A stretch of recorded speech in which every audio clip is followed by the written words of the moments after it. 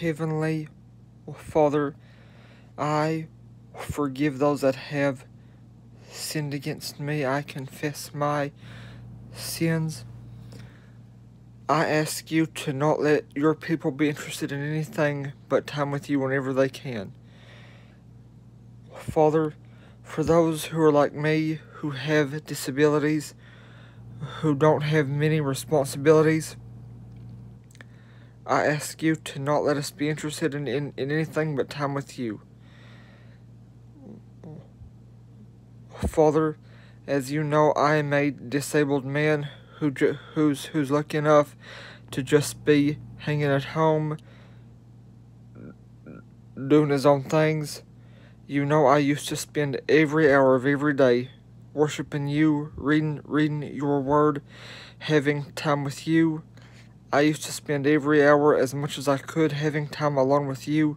So, Father, you know lately I have been I have been interested in nothing but video games.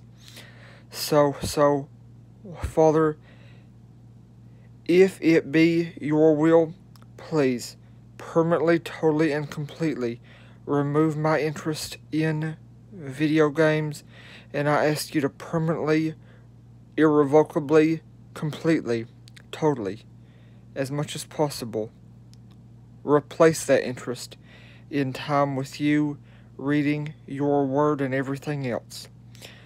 I ask you to replace my interest in video games with nothing but time with you as much as I can.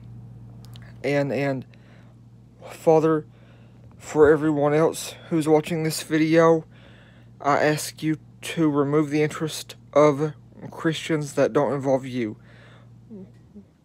Father, whenever Christians watch this video, whatever they're interested in that does not involve you, I ask you to totally remove any interests that they have that do not involve you, and I ask you to permanently, totally, and completely replace all other interests with time with you.